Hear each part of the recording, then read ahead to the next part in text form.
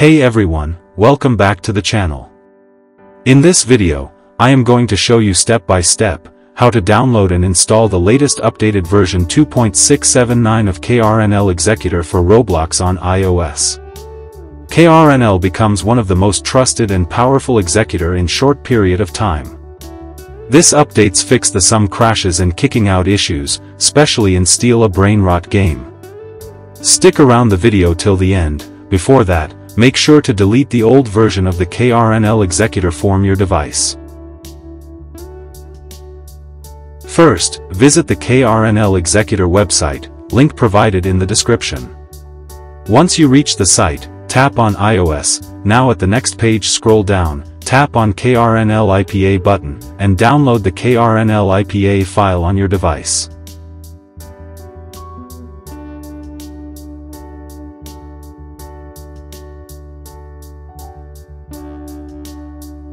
Once you download the IPA file, we have to side load the IPA file, using any side loading apps like eSign, KSign, Feather.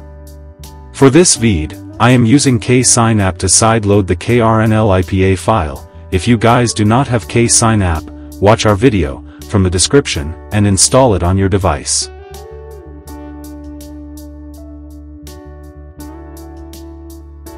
And that's it guys. You have successfully installed the latest version of KRNL Executor for Roblox on your iPhone and iPad. If you guys do know know how to get key for the KRNL Executor, watch our video, and get the key for the KRNL Executor, I will put the link the description. That's it guys, it today's video, hope this tutorial helped you out, please like the video, subscribe our channel and hit bell icon for more tech and Roblox tutorials.